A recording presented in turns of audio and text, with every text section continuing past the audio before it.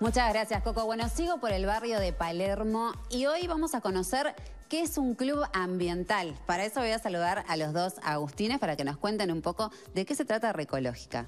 Muchas gracias por la visita, Nadia. Bueno, acá estamos en el Club Sostenible de Palermo, donde se encuentra Recológica y donde se encuentra también un vivero. Tenemos un second hand por acá también. Y un club sostenible o un club ambiental, como decías vos, engloba todo lo que tiene que ver con lo ambiental.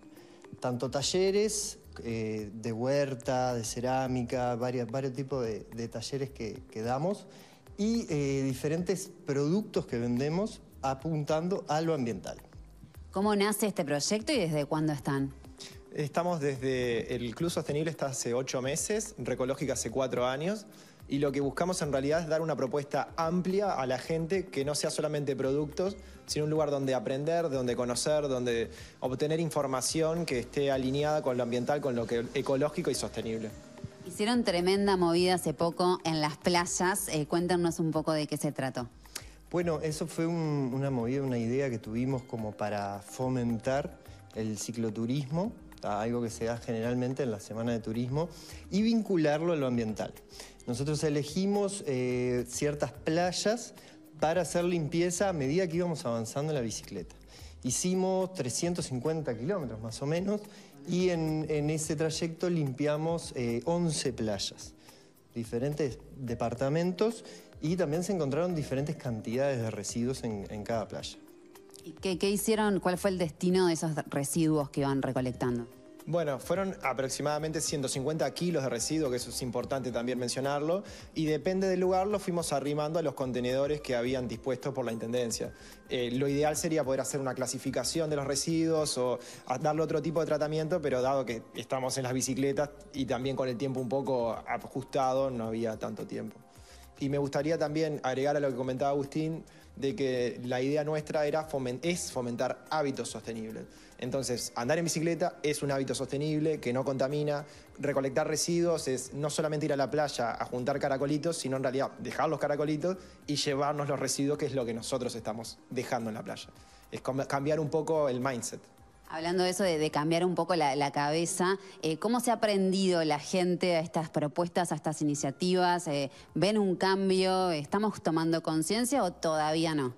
Y por suerte sí estamos tomando conciencia. Eso es lo que nos mantiene bastante motivados porque quieras o no, hace cuatro años cuando empezamos no era tanta la cantidad de gente que estaba motivada por clasificar, por traer los residuos y bueno, hoy, hoy se ve una gran diferencia, sobre todo con esta actividad también mucha gente como estaba interesada en aportar de alguna manera. Entonces vemos un interés en la gente en resolver sus residuos y en darles un, uso o, un destino apropiado.